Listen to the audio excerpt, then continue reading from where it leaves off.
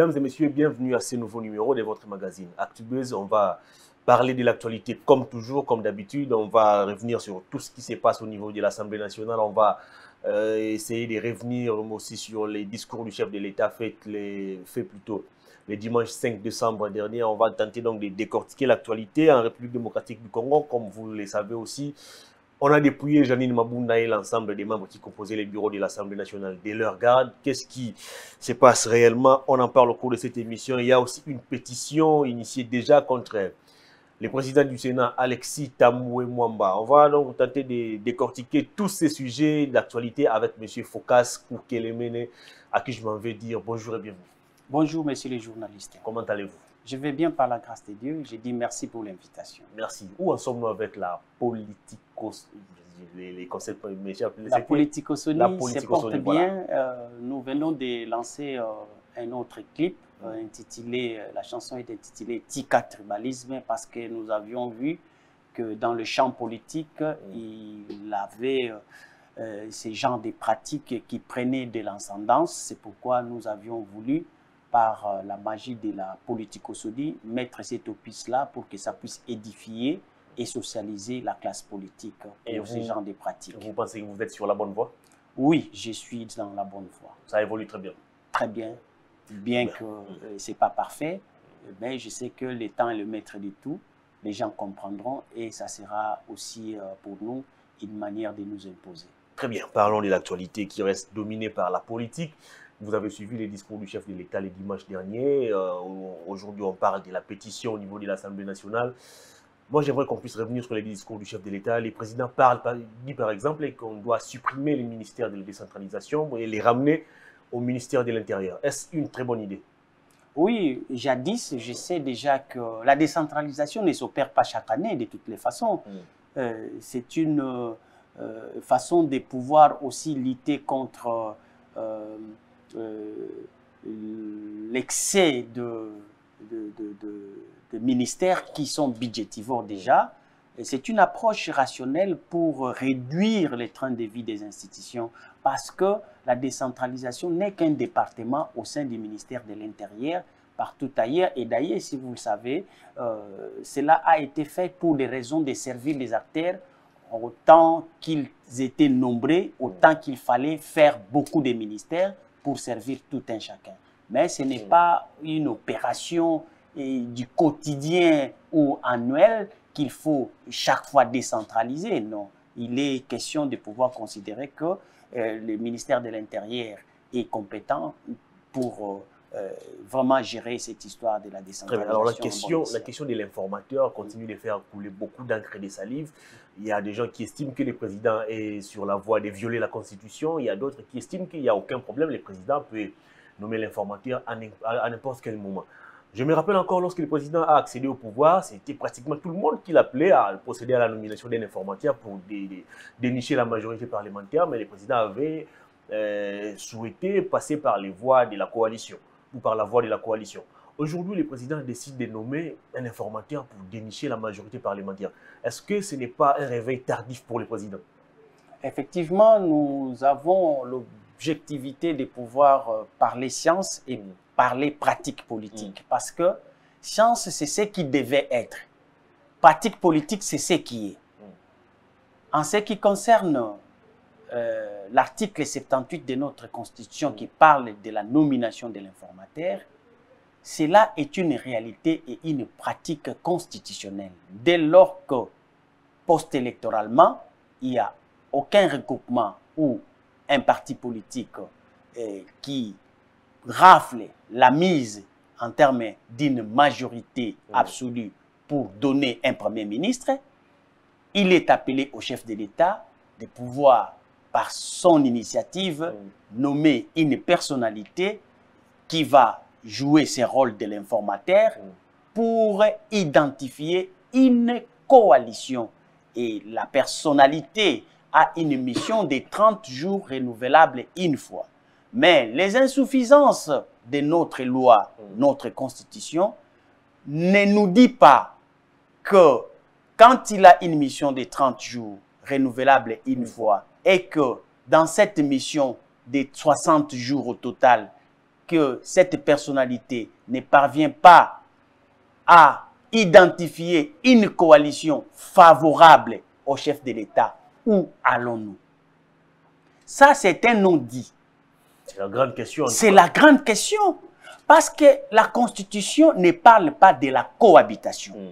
La Constitution parle de l'identification d'une coalition. coalition et la personne qui joue cette, euh, euh, euh, cette mission, qui a la tâche de pouvoir coaliser les acteurs électoraux pour la coalition en vue de pouvoir permettre les chefs de l'État de nommer un Premier ministre, il est obligé, ecto facto, de réunir une coalition en faveur du chef de l'État. Au cas contraire, 60 jours dépassés, il ne parvient pas. Il trouve que au sein de la- de- de- de l'Assemblée nationale, il y a une réalité contraire à ce qu'attend Qu'est-ce qui va de arriver Qu'est-ce qui arrive? Là, la Constitution ne dit rien.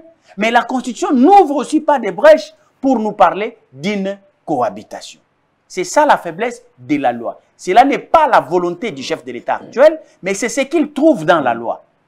C'est pourquoi moi j'ai dit, la loi est aussi un fait de l'évolution de la société. Nous qui sommes vivants, nous qui voyons ces lacunes, il faudrait que nous puissions prendre en compte pour que prochainement, quand nous allons faire notre loi, à nous avec l'avènement de la Ve République, que nous puissions tabler sur toutes ces insuffisances. Mais l'informateur Mm. doit être nommé.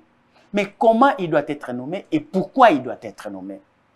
Je suis d'avis que l'informateur ne peut, peut être nommé à tout moment qu'il y a effritement d'une majorité. Mais qui doit les nommer? C'est l'arbitre.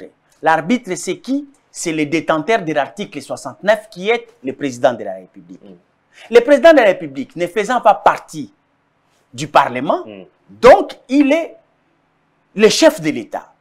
Étant arbitre, il observe les institutions pour leur bon fonctionnement. Mais en observant, il doit être rassuré par des faits probants que réellement il y a effritement. Mais ici, pour les cas échéants, quel est l'élément probant? Quel est le faisceau indicateur qui nous informe, qui informe au chef de l'État qu'il y a effritement au sein de l'Assemblée nationale? C'est ça le problème. Et nous avons une constitution, je dirais, inachevée. Non, parce que ici, y a, y ça doit être un fait majeur politique qui doit être une réalité au sein du Parlement, qui doit donner à l'arbitre l'information que, Monsieur le Président, il y a effectivement d'une majorité. Cet élément, pour le cas échéant, devait être quoi? Devait être la position de cette coalition existentielle c'est-à-dire FCC et CASH.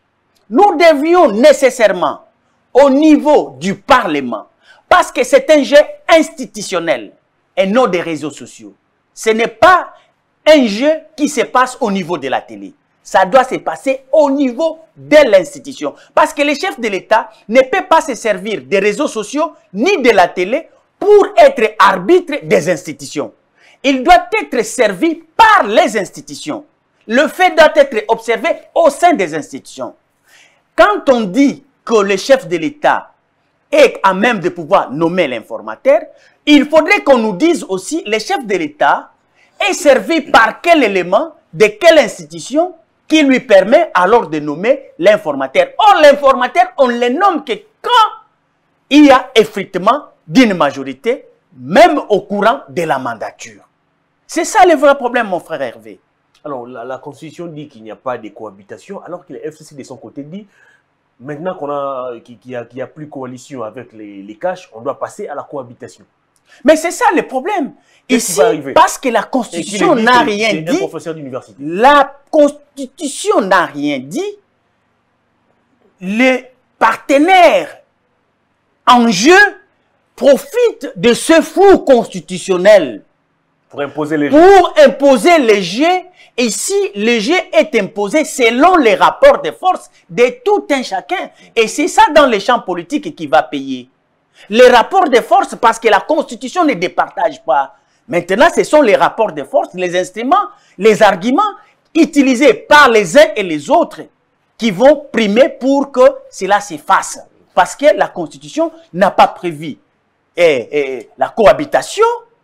Alors, où nous allons si nous sommes dans un cas de figure où vous trouvez qu'après nomination d'un informateur et qui est une coalition identifiée, mais qui ne serait pas en avantage, en harmonie avec les chefs de l'État, les cas de FCC actuellement. Parce qu'il faut noter, messieurs les journalistes, que dans notre Parlement actuel, nous avons en présence trois types de coalitions. Ces coalitions sont lesquelles? La coalition majoritaire, qui est une coalition rigide, identifiée par les FCC. Vous avez encore en présence une autre coalition qui est la coalition quasi-majoritaire. Cette coalition quasi-majoritaire est matérialisée par les greffages du cash auprès de FCC. Vous avez encore une autre coalition qui est la coalition soutien à la majorité. Tel est le cas, la présence de Bahati avec ses députés. Il peut ou ne pas être au FCC. FCC demeure toujours majoritaire. Cash et FCC demeure toujours majoritaire. Mais maintenant, imaginez seulement un seul instant que l'on nommant un informateur et que cet informateur arrivait à dénicher qu'il existait une majorité rigide qui s'appelle FCC et qui n'est pas en coalition avec les chefs de l'État. Qu'adviendra-t-il? Parce que la cohabitation n'est pas autorisée, entre guillemets. Qu'adviendra Donc, de ce flou, il va se faire une sorte d'anarchie des rapports de force des uns et des autres pour se prévaloir de cette situation du flou constitutionnel. Ça, il faut le noter comme cela. Très bien. Mais ici, moi, la problématique, je suis en train de la poser dans le sens du chef de l'État. Quel est l'élément motivateur du chef pour parler de l'effritement Aussi longtemps, nous le savons, que Kabound, qui est l'auteur de cette coalition majoritaire au sein de l'Assemblée nationale, qui est la coalition FCC et Cash, a décidé quelque part en province à Kikwit précisément que la coalition n'existe plus. Mais le chef de l'État ne peut pas parcourir dans les médias ou dans les réseaux sociaux pour aller apprendre cela et confirmer qu'il y a effritement. Le chef de l'État doit recourir au niveau du bureau de l'Assemblée, partant de la logique d'une notion d'appartenance, de mouvance.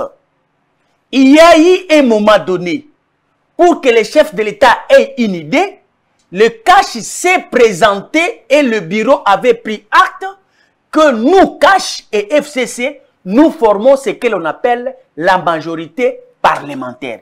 Et cela est acté au niveau de l'Assemblée. De ce fait, il faudrait que la même personne qui engageait Cash comme regroupement politique au sein de l'hémicycle puisse aller défaire cette coalition pour que le bureau puisse prendre acte. Et de ce fait, cette information institutionnelle servirait maintenant le chef de l'État de s'en servir pour se prononcer de l'effritement d'une majorité. Parce que, jusqu'à la preuve du contraire, depuis que le chef de l'État a communiqué depuis les dimanches, jusqu'à nos jours, nous n'avons pas encore une information officielle et institutionnelle qui dénote que les FCC et les cash comme majorité parlementaire n'existe plus. La crainte, c'est quoi?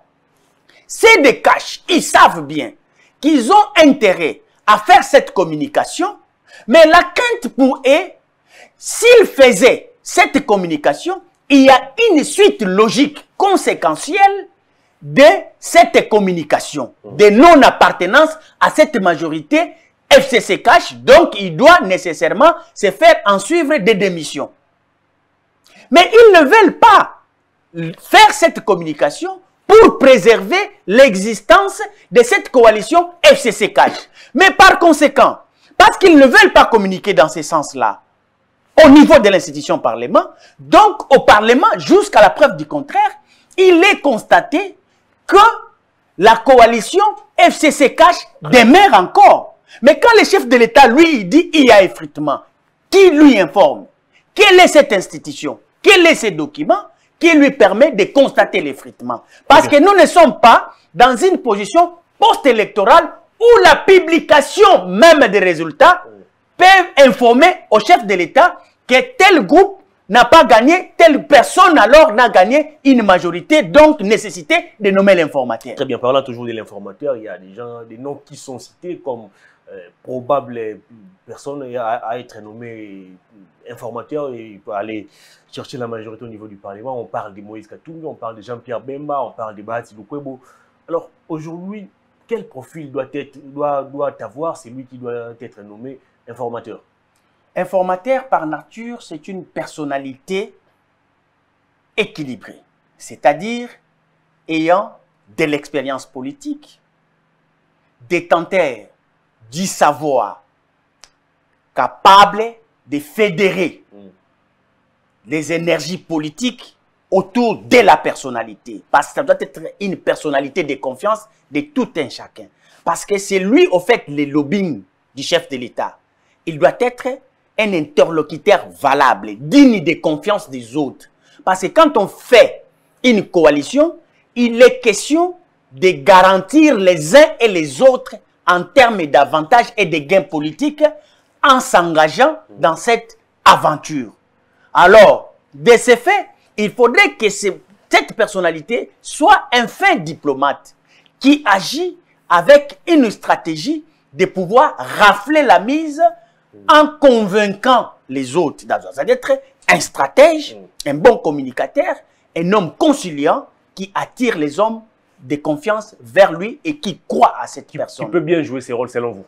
Je n'aime pas citer les noms mm. des gens, ça m'intéresse moins, mais les critères peuvent parler d'elles-mêmes, appliquer seulement ces noms. Si vous trouvez que euh, tel nom convient à ces critères-là dont je viens de citer ici, c'est lui. Si ça ne colle pas, alors laissez tomber. Il ne conviendra pas à donner au chef de l'État une coalition favorable à lui. Parce qu'il serait peut-être problématique, quelqu'un qu'on ne peut pas croire par le fait que dans son passé, parce que la critique historique va jouer sur cette personnalité pour que l'on sache il est sérieux ou pas sérieux pour que, enfin, les partenaires s'engagent. Très bien. Allons au niveau de l'Assemblée nationale pour parler de cette pétition initiée contre Janine Mabunda. On a même appris qu'on l'a déjà dépouillé des, des, éléments qui assurent sa, sa, garde.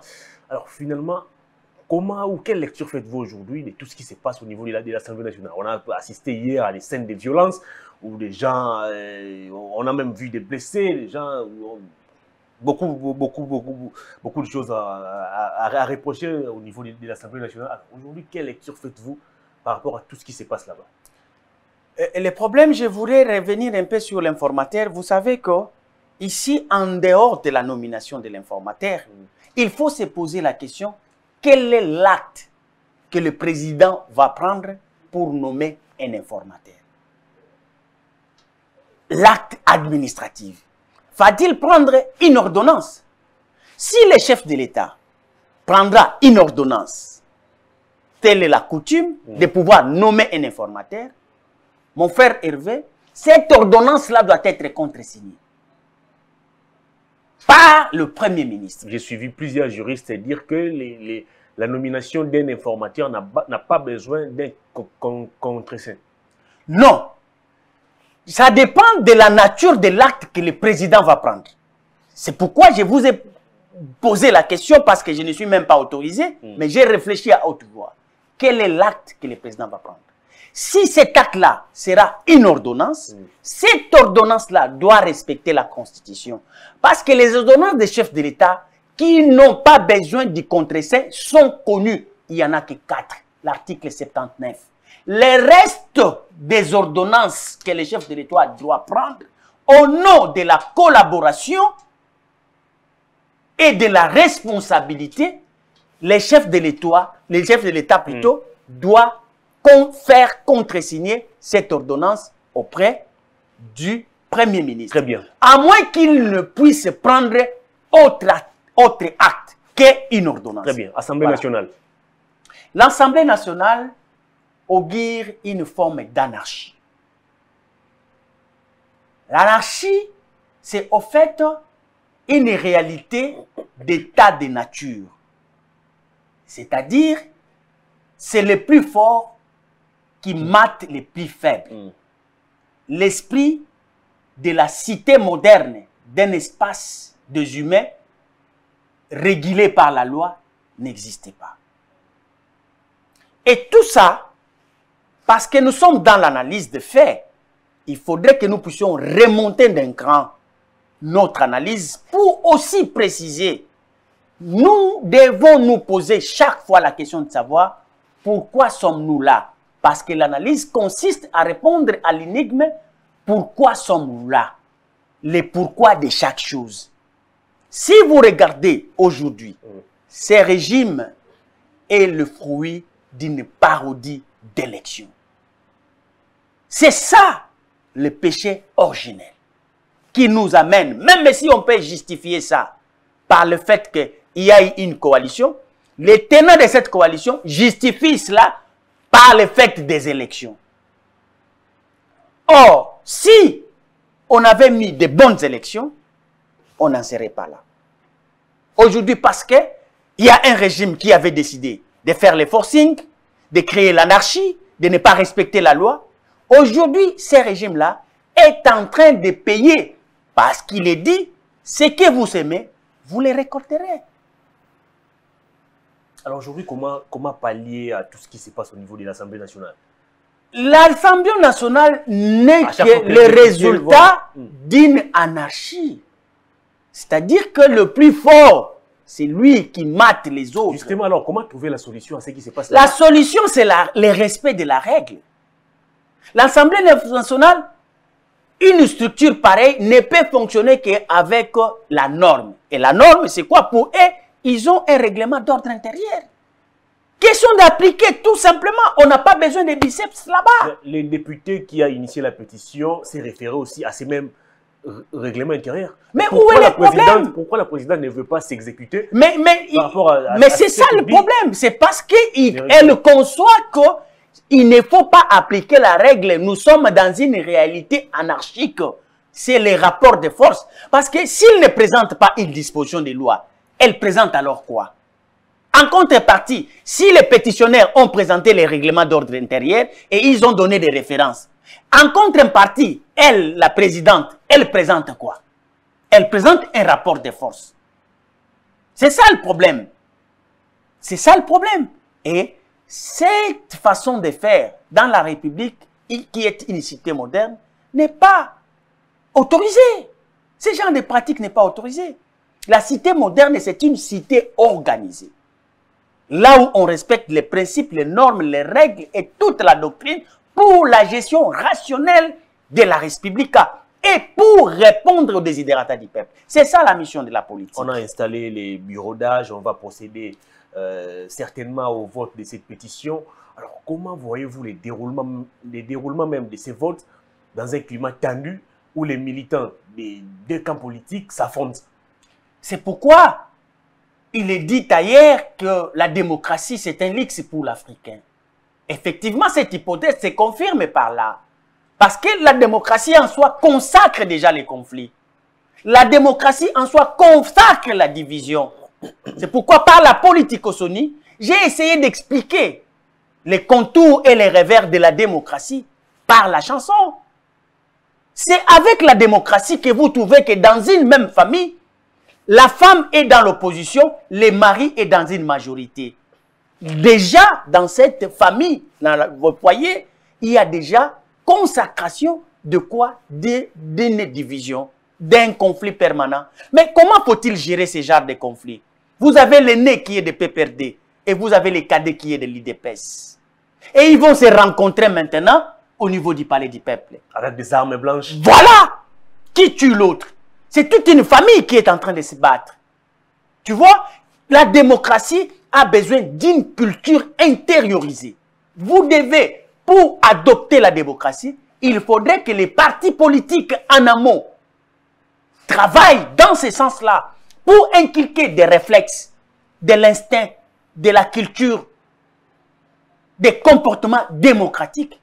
Mais parce que ici, vous voulez la démocratie comme système de gouvernance, mais vous n'aimez pas la culture démocratique pour pratiquer cette démocratie. Vous prenez la violence qui est un anti-valeur. Et ça se passe où? Au sein de l'hémicycle, une institution purement démocratique. Mais si déjà, au niveau des partis politiques, la démocratie n'existe pas, au niveau des institutions, la démocratie n'existe pas, où trouverez-vous alors cette démocratie Parce que dans les chefs des emails, il n'y en a pas. La difficulté, c'est celle-là. Nous avons copié, nous avons mimé. Pour rien. Et c'est pourquoi, la science étant têtue, ça nous rattrape.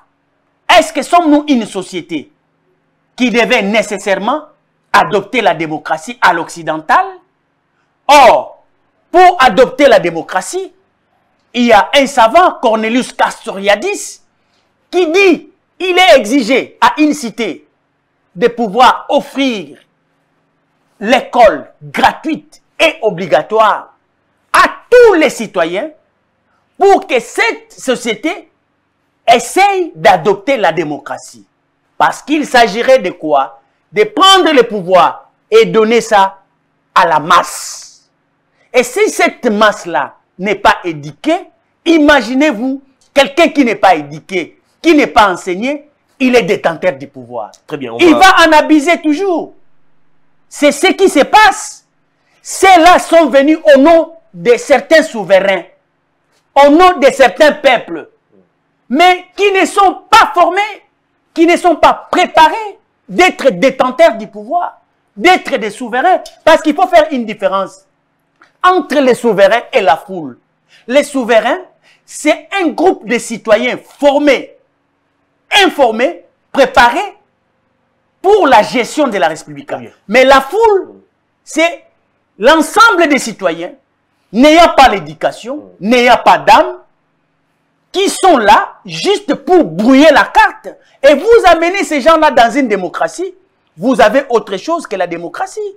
Vous avez autre chose que la démocratie. Bien, la démocratie, on ne peut pas tricher avec. Les conséquences, c'est que ici, parce qu'on n'a pas donné l'école gratuite et obligatoire, parce que les partis politiques ne jouent pas leur rôle, et c'est pourquoi, au sommet de l'État, vous avez l'imbroglio Très bien, l'émission est terminée. On va finir par cette question. Il y a aussi une pétition en gestation contre les présidents du Sénat, Alexis Tambemwamba. Alors, ma question est celle de savoir, est-ce que les présidents de la République et les caches sont-ils là en train de faire un forcing afin d'avoir ou de se créer une propre euh, majorité parlementaire?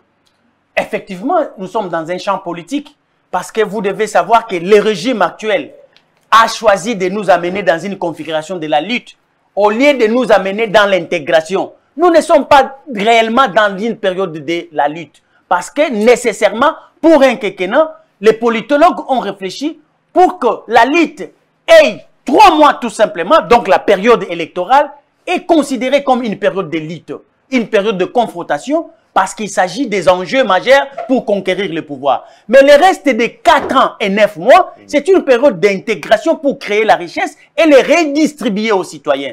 Mais ce régime a décidé autrement, de nous prendre déjà des ans de la lutte sans pour autant entrer dans l'intégration. Et cette lutte continue. Et pendant la période de la lutte, mon cher Hervé, c'est le coup bas, c'est le plus fort qui gagne, c'est tout ce que vous vivez, sauf l'intégration qui est une approche de pouvoir gérer la République pour donner le développement, pour créer la richesse. Mais ici, malheureusement, nous sommes dans un processus de la lutte que le plus fort gagne, mais malheureusement, c'est la population qui en pâtisse et on est en train de créer la pauvreté à la place de la richesse. Très bien, on a, fini, on a fini cette émission. Alors en quelques secondes, je vais vous demander de regarder la caméra qui est devant vous, votre dernier message au public et si possible vos coordonnées à tous ceux qui voudront peut-être peut, poursuivre les, les débats avec vous.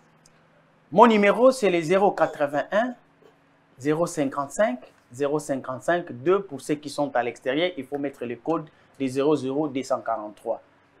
081 055 055 2. Je vous aime bien partout où vous êtes. Nous avons communiqué par le fait que nous avions été invités. Nous n'avons pas dit parfaitement peut-être ce que vous attendiez. Le temps est précis et précieux aussi pour les médias, vous le savez. Ceux qui veulent nous contacter en plus, dans le sens de la contradiction ou bien de la contribution en termes des idées, vous êtes les bienvenus. Mais ceux qui ont des injures à proférer, réservez-nous de cela parce que nous n'avons cité aucun individu. Nous sommes respectueux du principe. Nous parlons science et nous ne parlons pas des individus. Merci. Monsieur Focas Koukelemene, merci de votre passage. Merci. Euh, je crois que ça ne sera pas la dernière. Non, non, on va vous contacter de temps en temps. Merci Ça en est fini pour ces numéros de votre magazine ActuBase, mesdames et messieurs. Merci de votre sympathique attention. Au revoir d'ici là. Portez-vous bien.